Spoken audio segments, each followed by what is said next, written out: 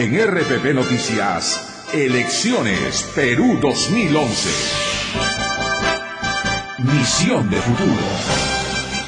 Atención, vienen dos importantísimos médicos en esta secuencia de elecciones Perú 2011. Y como son dos médicos los que vienen aquí, ¿le llamamos debate o le llamamos intercambio? Llámele como usted quiera. Consultorio. Yo voy, consultorio. Claro. Esa es la pregunta, la- el término adecuado.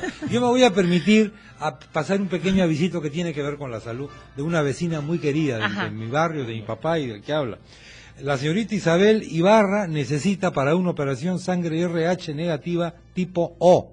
Atención, los teléfonos que puedan comunicarse con ella son el 445-6268 y el 964-327-865. Repito, 964-327-865, sangre RH negativo tipo O. Por favor, para la señorita Ibarra Ledesma Isabel. Bueno. esa, esa sangre es difícil. ¿ah? Es difícil, Ese yo sé que es difícil, por eso Deberíamos este hacer llamado. bancos, ¿no? En el Perú. Mi papá cuando se tuvo que operar hace tres años casi, yo hice tres años exactamente, hice Sí, este llamado claro, y ahí sí me hubo gente muy estupenda que colaboró, entre ellos un señor colombiano. Bueno, Eh, nuestros invitados por Perú Posible, el doctor Marcial Ayaipoma. Doctor Ayaipoma, ¿cómo está usted?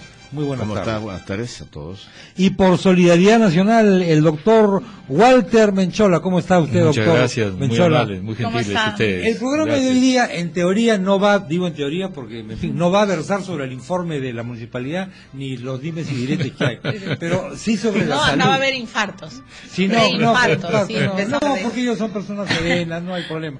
Pero sí sobre el drama de la salud en el Perú. Es decir, tenemos un déficit en materia de salud, eso es evidente. Eso es evidente. Tenemos un crecimiento económico glamoroso, pero a veces faltan remedios en los hospitales. Y quizás hay políticas que no funcionan, como por ejemplo se acaba de ver con el tema de las importaciones de remedios para el cáncer. Imagínate. Que No, ha el cáncer precio, ya por ejemplo, es- ¿no? Quienes lo vivimos de cerca, Chema, y- sabemos todas las penurias. y ¿no? nuestra red hospitalaria tiene todavía una serie de deficiencias. ¿Podríamos nosotros tener una plataforma para mejorar nuestro sistema de salud, ahora que está creciendo enormemente la expectativa de vida de la población? Porque ese es el otro tema. El otro tema es que dicen, bueno, yo, eh, como la, la, la ciencia me dice a mí, no te preocupes que te voy a prolongar la vida 20 años más. ¿Y a usted quién le pidió que me prolongue la vida 20 años más? Primero, sin condiciones mínimas. Bueno, que te la prolonguen, pero de ¿Que manera me la digna, prolonguen ¿no? qué? ¿Que me la prolonguen en una silla de ruedas con la llanta No, baja? no, no, no, que gracias. que estemos todos bien. Bueno, ese es el tema. Bueno, Vamos, entonces, este debate, como ustedes saben, señores, es muy preciso. Tienen tres rondas de un minuto cada uno. Y si no lo cumplen, pues lamentablemente van a ser interrumpidos. Entonces, vamos a empezar con quién de los doctores quiere empezar. Los mayores primero, por favor, Los- Marcial. El mayor Los mayores. No, es una tradición El mayor, médica Ay, ay, ay, ay. Oh, ah, ok, está bien, no lo ha dicho con... No me pito el pelo. No, y no se pinta el pelo. ¿no? Ah, ya. Ya hubo acá chicote y cruce. No se preocupe, cruzado. le va, pre- le va- le va a prestar el mío. Usted se pinta tiene el mucho pelo, que pintar Bueno, bueno hay, que, hay, que, hay que aparecer este, del mejor aspecto. Ah, está bueno, pero está tampoco bien, tiene ¿no? mucha... ah, Es como yo, el otro día Me me parece dicen, mal que se tenemos una los hombres". peluquería excelente para ti. Le digo, ¿qué peluquería? Se la lleva fácil la peluquería. Conmigo se la lleva fácil. Bueno, el primer round sobre el tinte de pelo ha sido absuelto. Ahora, vamos a ir al tema de la salud, a los temas serios. ¿Qué hacemos? ¿Cómo puede mejorar el Estado la atención a los pacientes, sobre todo en los hospitales de salud y en el Ministerio de Salud? ¿Qué, qué medidas si se puede hacer algo desde el Congreso, porque esto es algo que le compete más al Ejecutivo. Pero en todo caso, ¿cuál es la propuesta de Perú Posible y de Solidaridad Nacional en términos de salud y cómo lo van a discutir en el Congreso? Entonces es el turno de el doctor Marcial Ayaipoma, que es el candidato, va con el número 3 por Perú Posible. Exacto. Bueno, eh, MINSA, o sea, salud pública y salud son totalmente diferentes en el aspecto administrativo, financiero, etcétera. En el lado de, de MINSA, tenemos que mejorar el primer nivel de atención al paciente, que ahí está la congestión. ¿Por qué? Porque falta tremendamente los centros de salud, principalmente en las zonas más olvidadas del país. Y estas y los que existen están en pésimas condiciones, mal implementados. Eh, por tanto, nosotros estamos, nuestra, nuestra visión es mejorar el primer nivel de atención que del, del paciente. En cuanto a salud, algo similar. En salud sabemos muy bien que salud es manejado por los trabajadores, por los empresarios y también por el Estado. Es una, una mistura ahí y que tiene un presupuesto propio. En ese sentido, ya en salud, como Bueno. tiene... sí, bueno, yo- Terminó ahí su- terminé. pero luego- luego puede ampliar. primer nivel de atención. Exacto. Puede ampliarlo después, doctora Yepoma. Es el turno del doctor Walter Menchola. Él va por, también con el número 3 por Solidaridad Nacional. Muchas gracias, Milagro. Lo primero que tenemos que resaltar es que uno de cada tres peruanos no tiene acceso a servicios de salud por diferentes razones. Nosotros consideramos que en dos años, en un gobierno de Lucho Castañeda, debiéramos tener una cobertura del 100%, de tal manera que no haya barreras geográficas, sociales o económicas para impedir que un peruano, por más humilde que sea, tenga dificultades para atenderse en un servicio de salud. Lo segundo que planteamos es que para mejorar la calidad de los servicios de salud se requiere dos aspectos fundamentales. La primera de ellas, que existe un sistema sano de competencia entre las diferentes instituciones. Y la segunda, que los usuarios, los pacientes, tengan derecho a poder escoger y seleccionar a sus médicos y a sus servicios. De tal manera que entre ellos se establezca una sana competencia de calidad y que inclusive exista ranking de hospitales, ranking de servicios que los ciudadanos puedan conocer perfectamente. De tal manera que todos podamos, con forma transparente, tener acceso con calidad. Muy bien. El tema de los genéricos es un gran problema para todos. A veces las medicinas son muy caras, no se encuentran genéricos en todas las farmacias, en provincias la situación es complicada.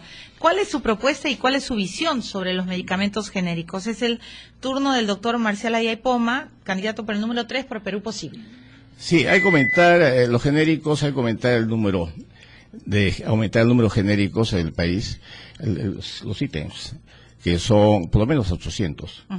Eh, lo que sucede es de que, eh, uno, que están mal contemplados, dos, que están mal distribuidos en el país, y tercero, que los genéricos, la queja general es que los genéricos son malos. Entonces, en este caso, aumentando, lo que pasa que son muy pocos los productos eh, de, de- de genéricos que existen a nivel y que no llegan a las manos. Porque para una cosa receta lo mismo cuando hay una diversidad de medicamentos. Aumentando el número de genéricos, yo creo que vamos a solucionar, porque cada tema, cada enfermedad, cada tópico va a tener las medicinas genéricas que son necesarias. Muy bien. Ahora es el turno del doctor Walter Menchola, también candidato con el número 3 por Solidaridad Nacional. Gracias, Milagro. Los genéricos han resultado, eh, y a través de la experiencia mundial, ser extraordinariamente buenos. En el Perú, bajo el tema de la liberalización a ultranza, nos ha llevado al tema de dudar de su calidad. Razón por lo cual, en primer lugar, tenemos que recurrir a la farmacopea internacional, como ya existe en Estados Unidos, un centro de control de calidad donde los genéricos tienen extraordinaria calidad. MK, por ejemplo, es una prueba de ellas y son uno de los países que más genéricos utilizan. Razón por la cual creemos que una- un término pragmático debiéramos tener un convenio con, por ejemplo, el Centro de Calidad eh, de Medicamentos en Estados Unidos o con Inglaterra, de tal manera que podamos acreditar rápidamente a las empresas, a las fábricas que tranquilamente nos puedan proveer. Lo segundo es recordar que el Estado tiene el 90% del control del tema de, eh, sa- sanitario en el Perú. Por ejemplo, en el tema oncológico, prácticamente el 95% lo tiene. Y hemos encontrado que en la ley de aranceles, por ejemplo, que se dio para que bajara el precio de los medicamentos oncológicos, al contrario, subió. Muy bien. Hemos llegado lamentablemente al final de este mini debate. Tienen un minuto cada uno para decir... por- Son visitas de médico Sí, pues eso es una- y es una intervenciones visita de médico, doctor. Menchola. Bastante rápida. ¿eh? ¿Dónde sale esa tradición de decir visita de médico? Porque los doctores se atienden rápido, no es que tienen no, una cola de pero- pero pacientes, ¿verdad? Pero es un Por dicho, eso, ¿no? es Claro un dicho sí, muy es- antiguo, es desde que dicho había muy el famoso antiguo. Claro. médico de Pero cabecera. si tienes Así un es. novio que te visita poco, dices, tú eres médico, estás visita de No, despáchalo, búscalo. Los bueno, novios generalmente son pacientes, no médicos. Eso, vamos a, este es nuestro último bloque, cada uno de ustedes tiene la oportunidad de dirigirse a sus electores, posibles electores, a los ciudadanos, recordar su número y decir cuál es la principal propuesta que llevan al Congreso. El turno entonces del doctor Marcial Ayaipón. Nosotros estamos con la meta de cubrir, cubrir a un 100% a las zonas pobres del país que llegue la medicina, la salud. Para eso vamos a aumentar el presupuesto en sector salud, que está todavía bajo. Vamos a aumentar de 7 puntos y pico, que está ahora, a un mínimo de 10% en este año que viene. Y para el 2011, para 2016 llegaremos a un 13 o 14%. Eh, con esto vamos a implementar, vamos a crear por lo menos 16 nuevos hospitales que también faltan en el país. Vamos a mejorar, como dije al principio, los puestos y centros de salud que existen, debidamente implementados, y pasar a atenciones de más horas, porque solamente asisten 6-7 horas actualmente, y que estén con laboratorio, pediatría, por lo menos, ginecología, y atención de cirugía menor en estos centros de salud que deben ser a nivel nacional. Vamos a mejorar, por lo menos, en, mejorar a 5.000 puestos de salud en el país. Muy bien. Eh, ahora el turno del doctor Walter Menchola. Muchas gracias. Dos de cada tres personas en el Perú no tienen acceso a los servicios de emergencia. Eh, aún las ciudades más desarrolladas como Lima Metropolitana no cuentan con un sistema de emergencia en la cual frente a una catástrofe de salud individual, familiar, eh, simplemente los, las personas tienen que acudir a la buena voluntad.